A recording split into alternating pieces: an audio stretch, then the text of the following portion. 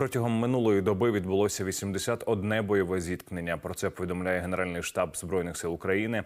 На Бахмутському напрямку наші воїни відбили 11 атак противника біля населених пунктів Богданівка, Іванівська, Кліщіївка та Андріївка Донецької області.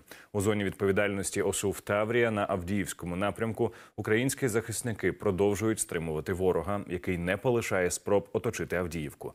Сили оборони відбили 25 атак противника східніше. Новобахмутівки, Степового, Авдіївки, а також 15 атак поблизу Сєвєрного, Первомайського та Невельського Донецької області. Той час на Мар'їнському напрямку сили оборони продовжують стримувати ворога у районах самої Мар'їнки, а також Новомихайлівки Донецької області, де нашими захисниками відбито чотири атаки. Протягом минулої доби авіація сил оборони завдала ударів по 18 районах зосередження особового складу, озброєння та військової техніки, а також по п'яти зенітно-ракетних комплексах противника. Окрім цього, протиповітряною обороною знищено одну керовану авіаційну ракету Х-59 та два розвідувальних БПЛА ворога. Підрозділи ракетних військ уразили шість районів зосередження особового складу, озброєння та військової техніки. Радіолокаційну станцію, два артилерійські засоби, три склади боєприпасів та пункт управління противника.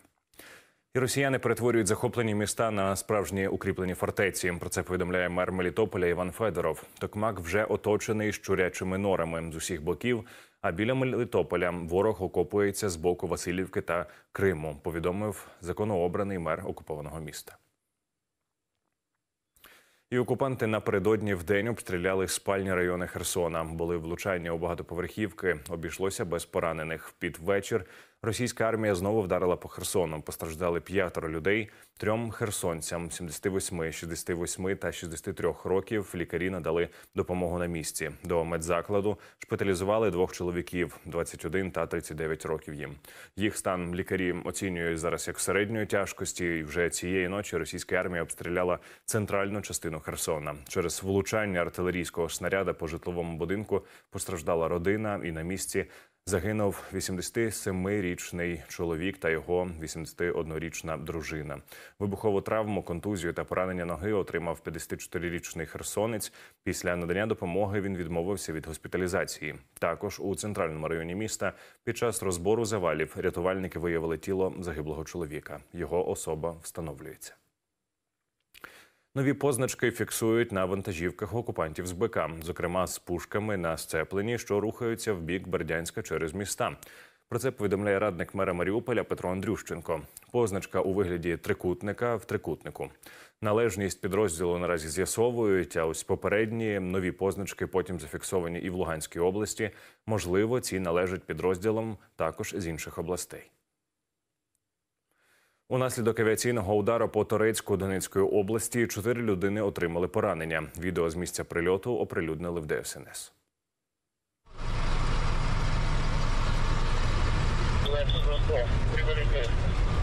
Прямое попадание двухэтажки в сторону. Проводим разведку. Я позаходил. Готовьте ломы, Лукас.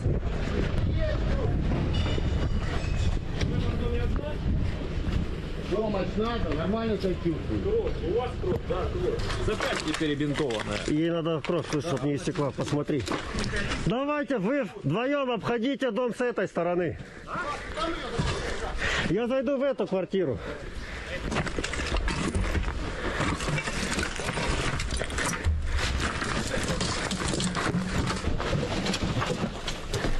Подвал нашел, сейчас гляну.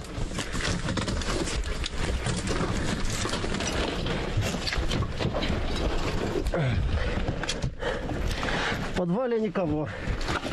Никого. На приеме.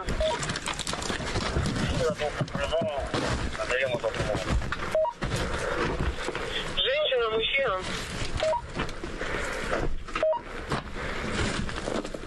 Жінка літня. Приняла. Да я все прошел, секунду. Ну там, где что разбито, я тоже в подвале никого нема, потолки висят. Да тут же они мандаринки лежат на столе. Не, не, живой. Женщина разберутся и поедут на Ривне. Приняла. Скажите, это достали из подвала или они находились рядом с домом? Никому, да? Там та собака. Да, наши туда залазили. Все, пойдем. Может быть, Подвалы все пусто. За хлебушком пошли. Дай бог, дай бог. Эй, товарищ, никого нет. Нету, да? Нет, вообще-то Получается, у нас тут один блин. Один подсобный, да, вот здесь.